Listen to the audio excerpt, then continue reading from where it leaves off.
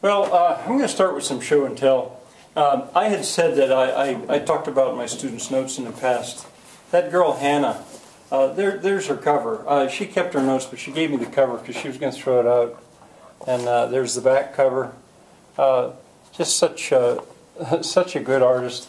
Uh, here's a cover that earlier a student, a girl, was, was going to give away, throw away. And, you know, I thought that was pretty nice too, and I asked for it. And then this isn't so pretty, but it's evidence of what I'm talking about. This student, whoever it was, uh, I think it was a guy, he uh, was filling in the texture here. Uh, to, so his hands would be doing something. All right, I wanted you to see that. Now, I don't know how well you're going to be able to see these, but here's a page from, I think, a Flemish calendar. I, uh, I can't say that it's the same size. Uh, but anyway, I, would look at something like that and, and love it. I'd stare at it in detail to see how did they build their bridges? How did they prune their trees? Uh, I've had a lifelong fascination with that kind of thing. All right, now going through the seasons. This this is what these are the postcards that I got at the British Museum. That is uh, January. There is should be February. I'm not looking. this should be March. Here's April. May. That or maybe that's what you just saw was May. We're going through the year anyway. June. that was that was June. Here's July. Now this is the actual size. You see these are postcards.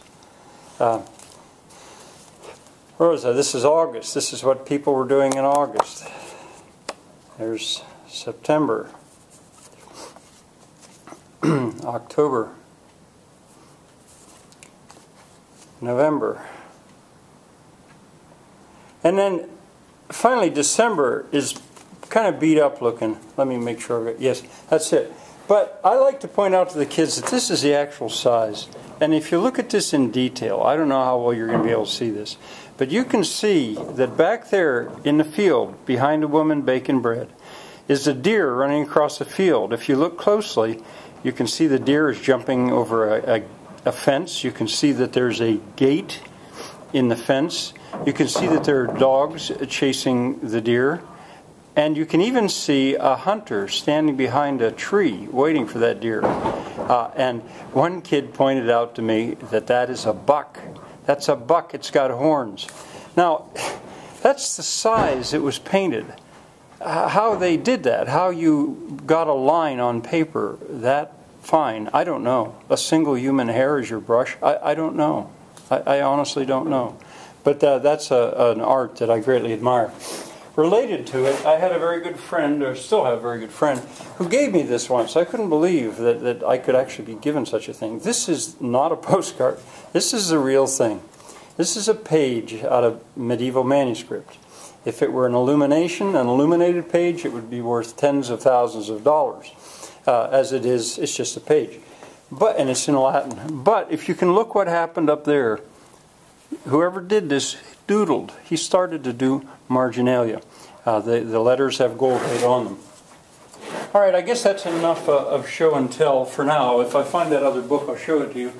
Très riche, uh, very rich hours. I think if you would Google that, you would see the book that I'm talking about. Uh, uh, uh, I think, anyway. And the Flemish calendar, that was from the early 16th century, so it'd be maybe 15, 1510 it's in the British Museum. Again, you could Google those, I'm sure, images, and you could look at, look at very good images of them. All right, we're going on to the Renaissance.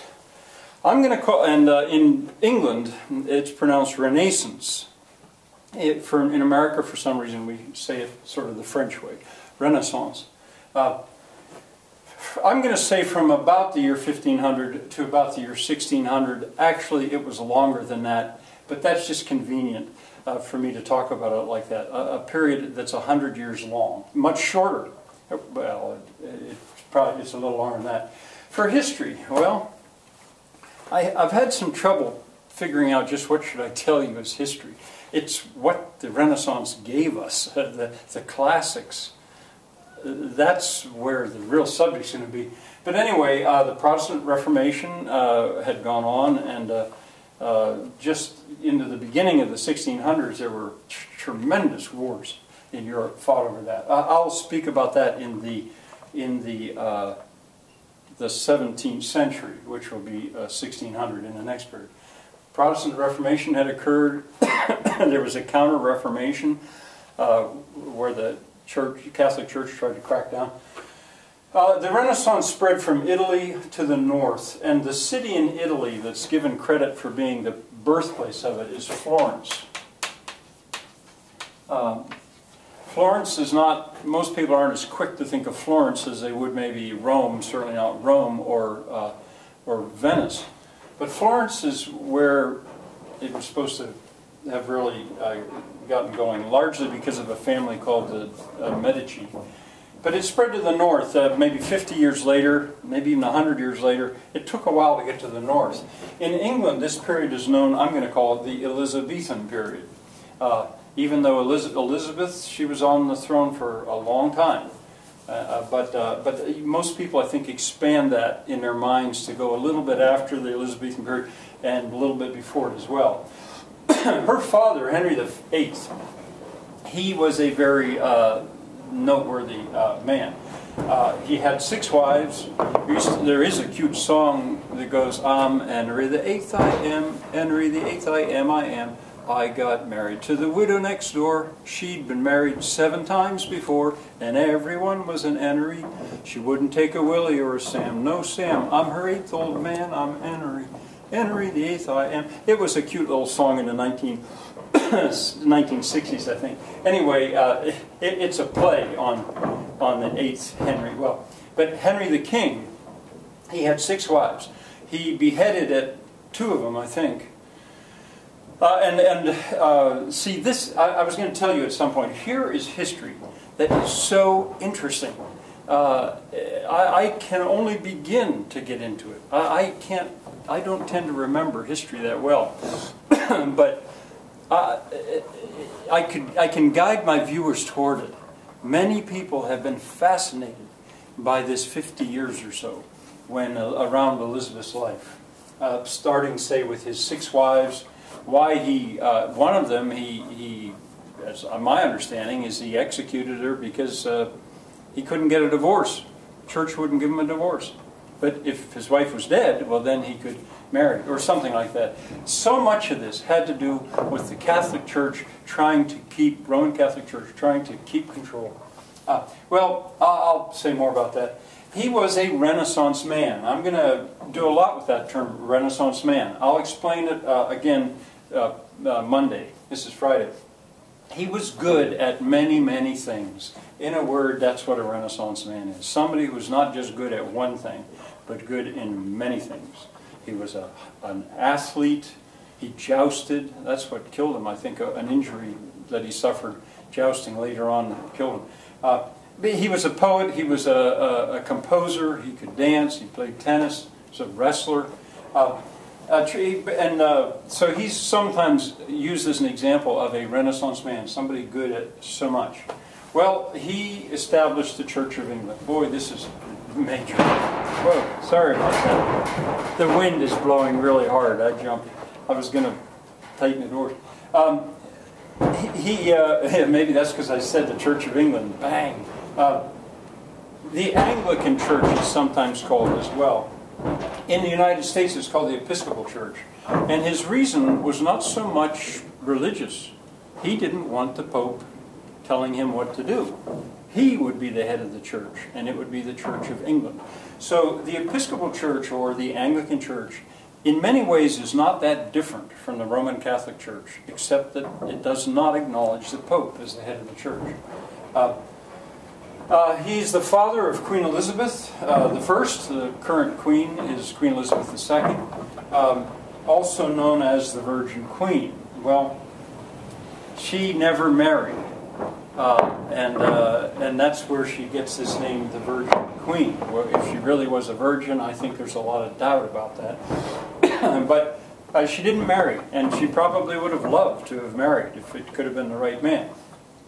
But, uh, but, after, but when she was queen, by not marrying, uh, she was going to have to marry royalty. And all these kings from Europe wanted to marry her, even though she was reputed to have been ugly, uh, bald from losing her hair as a, as a young woman, as a, uh, from a fever. Uh, but she didn't marry because that way England, I'm sorry, England did not become part of, say, Germany or Spain uh, or France. Uh, England was able to stay independent, partly through her not marrying. the uh, American state of Virginia is nicknamed after her, the Virgin State, uh, or the Virgin Queen, her state, Virginia. Sir Walter Raleigh was a very colorful figure who lived at this time. Uh, she sank the Spanish Armada, her, her navy did, in 1588. I'm pretty sure that's right. It, I find it easier to remember years that are like that. I'm pretty sure it's 1588. Uh, anyway, uh, uh, and she loved plays, which made Shakespeare's work possible, and I'll have lots to say about him. But, uh, but back to this sinking the Spanish Armada. There began a, that's, a, that's major, because with that, Spain began to lose its, uh, its uh, worldwide influence. Uh, it was such a powerful empire with its colonies and all its gold. and it had this huge armada, which is a navy. Well, uh, Queen Elizabeth's English navy, smaller, faster ships, they uh, destroyed it uh, in the English Channel. It, all of this is so interesting. There are maybe as show and tell in the next video, maybe I'll come up with uh, uh, recommended videos to watch about the Spanish Armada, about Queen Elizabeth. Wow, there's so many, especially lately.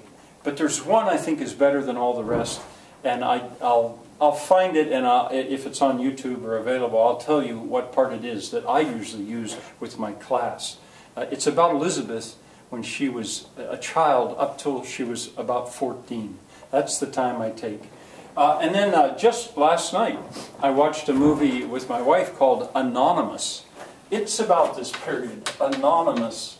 Uh, uh, uh, uh it, it, suggests that Shakespeare wasn't who we really think Shakespeare was. there is just so much interesting history here. I, I don't know of any other time in history, I, I really don't think uh, that, that there has been so much fascination with what went on during that time. In English history, I, I, I don't think there's anything like it. Uh, all right, um, I'll, uh, this is, uh, this is uh, Friday. Uh, on, on Monday, I'll go on with, with Renaissance. And I hope you have a lovely weekend.